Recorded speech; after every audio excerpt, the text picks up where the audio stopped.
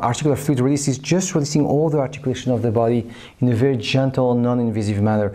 She has pain here, and you had two Uh, yeah, two cortisone shots. Yeah. And so I never treated her, and you kind of try to feel that articulation.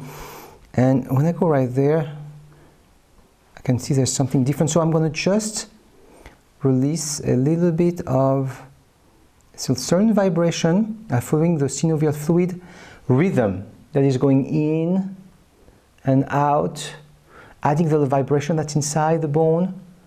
And the third component is a little movement, which is a directional impulse. It's a trick for those three techniques together.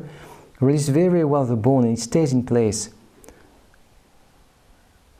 Going in, and the articulation expand. And there's a release already.